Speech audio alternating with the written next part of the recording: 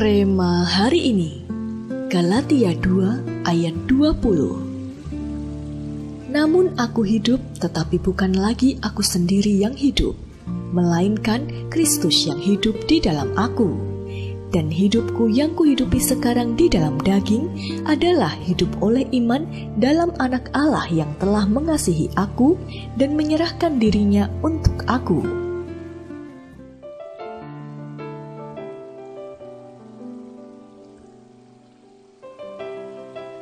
Jam istirahat makan siang adalah hal yang selalu ditunggu-tunggu Yuni.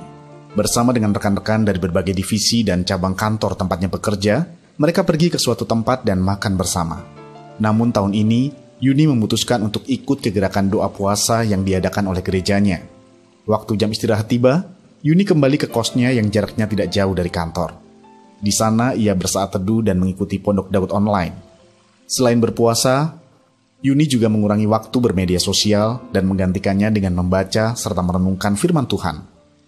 Selama menjalankan doa puasa, Yuni merasakan ada yang berbeda dalam dirinya yang tadinya merasa begitu tertekan dan tidak nyaman dalam bekerja, kini timbul semangat dan gairah yang baru.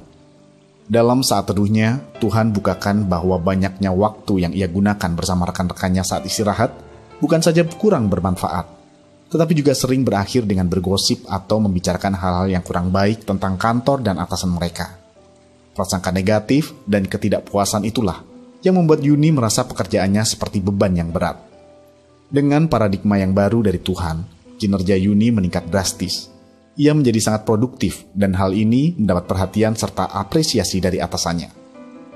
Sebagai manusia roh, ketika hati dan pikiran kita terlalu penuh akan hal-hal duniawi, manusia roh kita akan kehabisan ruang untuk bertumbuh.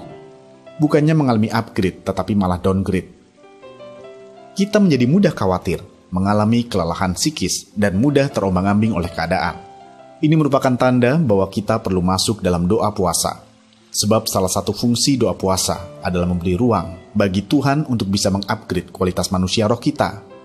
Doa puasa akan memangkas hal-hal yang tidak diperlukan oleh manusia roh kita dan mengeliminasi kedagingan yang masih melekat dalam diri kita.